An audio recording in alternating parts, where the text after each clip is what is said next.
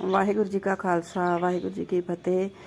ਇਹ ਨਾ ਆਲੂ ਬੀਜੇ ਹੋਏ ਸੀਗੇ ਅਸੀਂ, ਤੇ ਇੱਥੇ ਨਾ ਕੁਛ ਤਾਂ ਇਹ ਸਵੇਰੇ ਪਾਣੀ ਪਾਉਣ ਲੱਗਦੇ ਜਦੋਂ ਪੈਪ ਨਾਲ ਪਾਣੀ ਪਾ ਦਿੰਦੇ ਆ ਤੇ ਉਹ ਉਦੋਂ ਮਿੱਟੀ ਲੈ ਜਾਂਦੀ ਆ ਆਲੂਆਂ ਨਾਲੋਂ।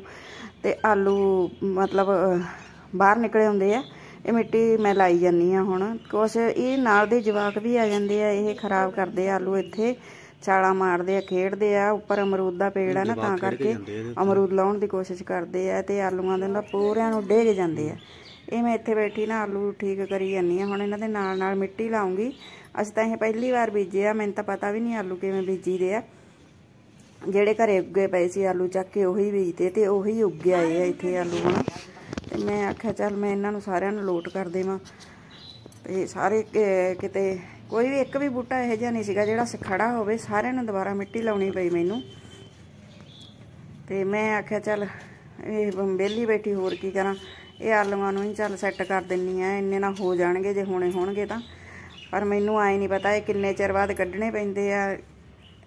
ਆਪਾਂ ਮੋਬਾਈਲਾਂ 'ਚ ਹੀ ਵੇਨੇ ਆ ਹੁਣ ਤਾਂ ਮੈਂ ਕਦੇ ਆਲੂ ਬੀਜੇ ਵੇਖੇ ਵੀ ਨਹੀਂਗੇ ਤੇ ਬਸ ਐਂ ਪਤਾ ਹੈ ਵੀ ਹੁਣ ਇਹ ਉੱਗ ਖੜੇ, ਇਹਨੂੰ ਮਿੱਟੀ ਲਾਉਣੀ ਆ, ਉਹ ਵੀ ਮੈਂ ਮੋਬਾਈਲ 'ਚ ਵੇਖਦੀ ਰਹਿੰਦੀ ਕਰਕੇ।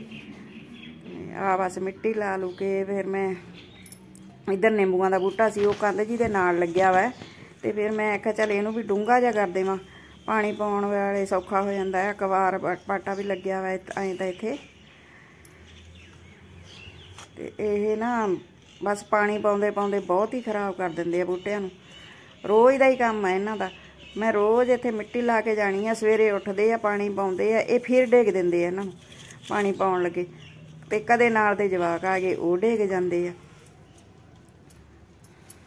ਤੇ ਇਹ ਪ੍ਰਦੀਪ ਕਹਿੰਦਾ, ਮੰਮੀ, ਆਪਾਂ ਵੀ ਇਹ ਬੂਟੇ ਲਾ ਤਾਂ ਲਏ ਆ ਹੁਣ।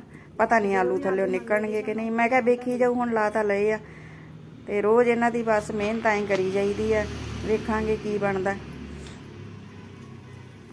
ਸਾਰੇ ਬੂਟੇ ਐਂ ਡਿੱਗੇ ਪਏ ਆ। ਕੁਝ ਬਾਂਦਰ ਆ ਜਾਂਦੇ ਆ, ਲੰਗੂਰ ਆ ਜਾਂਦੇ ਆ, ਉਹ ਕਰ ਜਾਂਦੇ ਆ। ਰੋਜ਼ ਹੀ ਇੱਥੇ ਇਹਨਾਂ ਨੂੰ ਵੇਖਣਾ ਪੈਂਦਾ।